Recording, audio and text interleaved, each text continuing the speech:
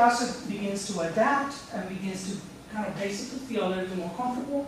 By 1904, he settled in, uh, in Paris. Okay, so finally decides that because until then, from 1900 to 1904, he was going back and forth. He would go to Paris for a while, didn't work, he would go back to Barcelona, mostly to stay with his parents, okay? And then give it another shot, and so on and so forth. He went back and, uh, back and forth. Like I said, the blue period paintings, most of the paintings were done in Barcelona, back there. Uh, really depressed about the failure of his trip to, Paris. But by 1904, he begins to get, you know, a little bit more comfortable. However, even here, two of his best friends, one is Apollinaire, actually the, the real name is Kostrowicki, okay, uh, Polish uh, descent, a foreigner, and then André Salmon, probably of Jewish origin. Again, so Picasso seems to be going back to these, uh, his contacts, even if they're French, okay? they're still kind of outsiders. Okay? So again, it's Picasso's um, idea of relating, but at the same time, um, not relating. These are some of the most important paintings that he does in 1904 and 1905. Okay? This is a family of South saltimbanquis. This painting is in Washington, D.C. at the National Gallery. It's a very important painting. This is his best, his big hit at the time. When he sold, he sold for a tremendous amount of money. Uh, and we're lucky that we have it in the United States. But he represents himself, so you can see here, the face looks a little bit like the young Picasso, and here too. And he, dress, he dresses himself as a harlequin. Okay? Uh, does anybody know about the harlequin? The harlequin is somebody that it's, it's kind of a circus uh, persona, but it's the commedia dell'arte in, in Italy. So it's like a theater, circus of, sort of thing. And it's a person that, the reason why they have this outfit is an in-between individual. It's, a, he's actually, the original idea is um, Arlecchino is somebody that is between life and death, and it's an intermediary between the two worlds. Okay? So Picasso identifies with Harlequin. He, he, he's going to portray himself throughout his life as a Harlequin. So he's a person that is here and there at the same time. He's in life and he's in death. He's in a foreign country and he's back home. So this idea of typical of the immigrant, of being in two worlds at the same time, belonging but at the same time not belonging. This is a very important idea in Picasso, and he does that through the representation of the harlequin okay, that we see that we see there. Okay. Now in 1906, something major happened. So Picasso now feels very comfortable in Paris, right? Like I said, um, he's you know, now being accepted, he sold a major painting, so now he's making a little bit of money. However, in 1906, he discovers Iberian art. Okay, in, interestingly enough, he discovers that in the Louvre in Paris. Okay, there was a major exhibition of Iberian art, and all of a sudden he said, "Hey, this is incredible! This is incredible art." He was fascinated by it. Okay, and you can see how it influenced his art. So this is an Iberian sculpture from 100 to 76 BC, and you see Picasso's self-portrait there. So you can see that he's very much related to that. So it, it, was interesting to him to be abroad, to be in a foreign country, and all of a sudden to find home in a foreign country. So again, this idea that Kim seems to, to, to, to pursue him throughout his life, right? Uh, being in a foreign country, but at the same time being home. So in 1906, what he does is he goes to, he goes back home. He goes to this beautiful town close to the Pyrenees, close to the border of France. Uh, it's called Gósol, and he lives very much secluded. Okay, so he wanted to find himself. Okay, and every time Picasso wanted to find himself truly, he went back home. Okay, until much later on, that then just basically stays in France for, for different reasons, as we're going to see, the Civil War in Spain, uh, the World War II later on, and so on and so forth. And this is a major um, friend of the time, again, Gertrude Stein, and he portrayed her there. And guess what? She's Jewish. Okay? So again, one of his best friends is also an outsider. He, she was an American living in Paris and, and a Jew. Okay? So again, we see how Picasso relates to people that are outsiders, just like he is himself. So was he fully integrated? Um, we would say no, right? He had a very heavy accent throughout his life, by the way, too. Okay? So then in 1907, 1907, 1908, there was another major discovery that was a revolution for him, African art. Picasso related to Africa. Remember that Spain is very close to Africa. Okay, so the idea is that a lot of our roots they come from Africa. Okay? One of the notions is that the Iberians actually came from northern Africa into the peninsula. So all of a sudden he, he feels like, hey, again, I'm here. Um, and he, he found this not at the Louvre in this case, but at, at this um, Trocadero, which is the ethnographic museum in, uh, in Paris. So he found the, the roots, his roots, his even deeper roots, African roots, in, in Paris. So this was a major revolution in his art also. And he would do um, things like this, okay? This again is a very important painting. It's actually considered to be one of his most important paintings, 1907. This one is also in the United States, lucky enough, it's in the MoMA in New York. Okay? And you can see the African influence clearly in the art. Okay? So um, a, lot of people, a lot of people have written about this book, uh, this, uh, this uh, painting. So this is a painting that is about welcoming and rejection. When you look at this painting, would, do you feel rejected or do you feel um, welcomed by it? It's supposed to be a brothel, right? So, I mean, if it is a brothel, normally it's like, come on down, right? Come on in. Right? However, a lot of people, when they look at these faces, especially if you blow it up, uh, they feel kind of scared away, right? They, they want to feel rejected. What's your, what's your reaction to it? Rejected. But Picasso wanted to have that kind of duality in this painting. So it's welcoming and rejection. So again, it's how he felt himself. Okay? Being part of this new culture, this new society, this new country, but at the same time being rejected. And it was important for him to be rejected. Okay? It's almost like a lot of people think that a foreigner is a, a victim. But for Picasso, this kind of victimization was important because it identified him. Okay? It's in that kind of in between, okay, that Picasso defined himself. Remember the harlequin. So he doesn't want to be fully accepted. He doesn't want to be fully rejected. He just wants to be in this what we call the liminal uh, in between the two. And so that's what we see around 1907. Okay, so you can see the African influence there. And then I want to move on to um, make a jump, and these are two books that I've written. Um, one is about the period uh, 1924 uh, to 1936, um, which is also a very important period. This is the, the so-called Surrealist period. Uh, this, uh, does anybody know about Surrealism? Have you heard about Surrealism? Surrealism in the 1920s, late 1920s and the early 30s, is all about self-discovery. They were very much influenced by, by psychology, by Freud, right? About the subconscious and how uh, there is a, another self that you don't know about, right? So there's the self that you're aware of, that other people see, and there's a deeper self. Okay? This fascinated Picasso, precisely because of this idea of having two personalities, this kind of split personality of Picasso. So he, he got very much involved with surrealism. And so, for example, some of his best friends, like André Breton, for example, one of his best friends, and so on and so forth.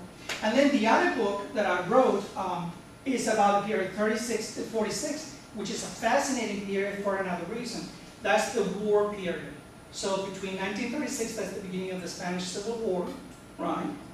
So Picasso was living in Paris, but all of his family lived in Spain. Can you imagine how that feels? I can't even imagine. So you're living in a foreign country, and now your native country is at a, at a war. Not just war, civil war, right? So family members are killing each other, friends are killing each other.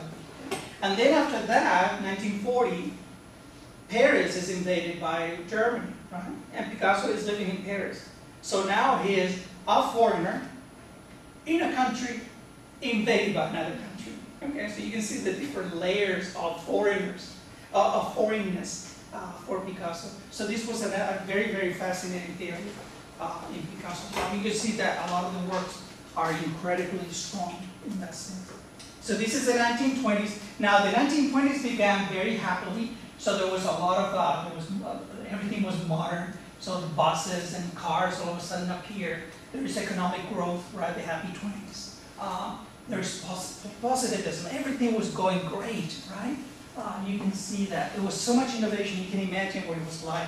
The trains and the airplanes beginning to develop, and buses and cars and big buildings, and the whole Paris is being uh, rebuilt. People are outside having fun at the cafes, you know. And then everything started to um, collapse. Right? So this is what we call the años locos. Okay? And the Follett. Okay? So um, crazy years. Everybody's dancing. You can see women dancing together. You know, the kind of the openness. Uh, um, you know, you can see the very fancy clothes. There was plenty of money. And then there was the, the, the crash, right? Then the, the, the film was developing at this time. Jazz was uh, uh, coming out. You can see uh, black music, for example, was now being integrated. You can see the dances. The women's clothes were changing. Women were completely were becoming more and more liberated. Um, they were not stuck at home, so they could, you know, join society as a whole. Okay, you can see women, actually a lot of the, um, the clothes that they wore, um, they were considered to be kind of very rebellious at the time. Okay, you can see the costumes. I love, I love these kind of, don't you? I love it. I, I wish, you know, this fashion would come back, because I, I think it is so fancy. I think it is very elegant. But you can see how it is different from what they were doing before. It's called this, uh, uh, this style was, uh, actually called garzon, um, which is kind of a boy style, okay? So they're kind of boyish uh, style because they didn't have kind of the figure of the, the woman that you would have expected before. Then women could be on their own, so they could be in a cafe, just chatting, talking, drinking coffee, uh, away from men. They don't need men. Uh, until then, women needed men to go outside. Okay? So you can see. And this is when Picasso uh, meets another uh, companion, which is Maria Therese. She was younger than, than he was. And so they started a relationship. So these were very intensive years for Picasso, of the surrealist, uh, like I said. However, he does some of these works of the 1920s, and what does he do? So for this painting, he goes back to some of the Spanish masters. So this is Velázquez, a painting by Velázquez. So a lot of people have seen a very clear influence of Velázquez. So this painting of Velázquez, this is Velázquez painting a painting that you don't see. Okay, so these are the models, but he's painting and he's looking at them in a mirror. That's the idea. So the mirror is over here. So he's looking at them in the mirror and he's painting them on this canvas that we don't see. So Picasso interprets that in, oops, in this painting, okay? Again, we don't see the painting here, but we see the reflection of the model, okay? And this is the artist that we actually get to see. So that's the, that's the influence. It's of course abstract, but the influence of Velázquez. And this is another painting that he did in 1932, and you can see again the influence of, of uh, Velázquez. So this is another painting by Velázquez. And you can see the woman looking at herself in the mirror. And here Velázquez, we have the same thing. So you see the woman, and you see her looking at herself in the mirror. Okay, so that's kind of an interesting. And the whole idea of the mirror, uh, you see another self. Okay, you see another dimension of yourself. So this is the very important uh, concept. And then, of course, in the 1930s, as he's doing this surrealist thing, he goes back to the bullfight. Again, Picasso going back to the to the theme. So this is the Spanish bullfight. Has anybody been to a bullfight? It's kind of very bloody. Oh, Uh, I've been to one, one in my life, and it was one of the bloodiest things I've ever seen. Okay, but you can see how Picasso relates to that. So what he does is that he takes the cape and he, he transforms that into blood flowing. Okay, so the cape of the bullfighter, uh, this is the bull, this is the, the horse. It was very typical at the time that the horse would be uh, gutted by the, uh, by the, so their insides would be coming out, right? Because they were bored by, by the bull. However, he seems to be almost like being carried by the ball. It's almost like at the hands of some sort. He's now being killed. Right? So this kind of this is the playfulness. Picasso was fascinated by the bullfight, by the topic of the bullfight. So he did he did that throughout his life. Even towards the end of his life, he would do bullfight. Okay. And another interesting thing in the 1930s, as he's trying to discover himself, he starts to write poetry. Okay, a lot of people don't know this, but because in 1935 he started to write poetry, he started writing in Spanish, and then he moved on to French. So he wrote both in Spanish and French. That's another fascinating topic, the bilingualism of, of Picasso, where in his case he was almost trilingual because he spoke Spanish, his native language.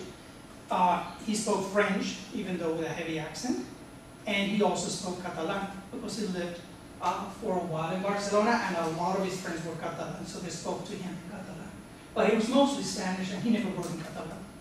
He wrote in Spanish and in English. And you can see that the, the um, poetry is very, very complex. Okay, it's not easy to. Uh, so, yo fuera fuera, las fieras vendrían. It's, it's like a, you kind of run on. Uh, it's hard to understand, but it's fascinating. Uh, I've done some work on it. Uh, I've published some articles on his poetry, and it's really interesting to, to do that. And then the 1930s, that's the topic of my other book, the last book that I mentioned, is the Spanish Civil War. It was a very brutal war, okay? Uh, uh, half of the population died, okay? especially young males, okay? So uh, after the Civil War, uh, Spain was left without men, right? So one of the things that they did when I grew up in Spain is that people wanted uh, the government wanted people to have children because there was, there was nobody, right? So they needed more people in the country. It's incredible. so Picasso uh, was very much influenced by this. So you can see here, this is, Picasso was leaning towards the left, the liberal. Of course, unfortunately, the people that won the war were the right, the conservative, fascists. Um, so that was another blow. So after the Civil War, Picasso couldn't go back to Spain. Even if, if he wanted to, he couldn't go back because Franco, the fascists, they wouldn't allow him to go back because they knew that his leanings uh, were towards the, the left. Okay? And this is uh, a very good image of the effect of the Civil War. A lot of cities were completely destroyed. This is Guernica. Have you heard of Guernica? So Guernica is in the north part of, of, of Spain, it's in the Basque country, so that's how you spell it in Basque. Guernica, normally spell it with uh, G-U, uh, and then a C, right? But that's how you spell it in Basque. And this is Guernica, how it was left. Now the incredible thing, and this was unheard of at the time, it was bombed out of existence. I mean, it was just really destroyed. And there was no, there was no army there. There was just civilian population. Now we think that's a normal thing. Look at what the Russians are doing, right? We think that that's a normal thing. But at the time, this was unheard of. So it was the Germans collaborating with Franco that came and bombed this thing. So Picasso had a very strong reaction to this, and he painted the famous painting of the name Guernica, okay? which is this one. Okay? And that's a very famous painting. This painting is in Madrid, and it's one of the most important paintings of Picasso. So the Demoiselle d'Avignon, that kind of brothel thing that I was showing you in 1907, uh, the, probably his most important revolutionary work. This is the most recognized work of Picasso. Okay, it's not as revolutionary as that one, but you can see how Picasso integrated all kinds of things in here. So, for example, he threw in elements of the corrida, the bull, and the horse, right? Um, and he also included things um, of some of the people that he was dating at the time. So, for example, I, skipped Dora Maar, uh, which was uh, his companion at the time. Again, somebody of presumably Jewish origin. Uh, um, and so uh, she was from Yugoslavian uh, background, and we presume that maybe Jewish. And this is Picasso. And you can see her in some of the images of, of Guernica. So it's have it later. So you can see here, this is Picasso in 1938, and this is a portrait of her. So how you can see how they he identified with her. Again, the same idea. She's somebody that lived in, in, in Paris, but is from Yugoslavian background, a foreigner like him, to a certain degree, and also Jewish background, probably, a foreigner again like him. And so he identifies with the bull, okay, which is also, if you think of it, an outsider in the corrida. And this is her. You can see that the face are almost related. When you go to Guernica, you can see a lot of the faces of the women are Dora Maar's. Okay? So a lot of these crying women that you see, suffering women, Picasso identified with, uh, with Dora Maar. Okay? So basically, the whole idea behind this is how Picasso related to somebody who was rejected, that was an outsider, and so on and so forth.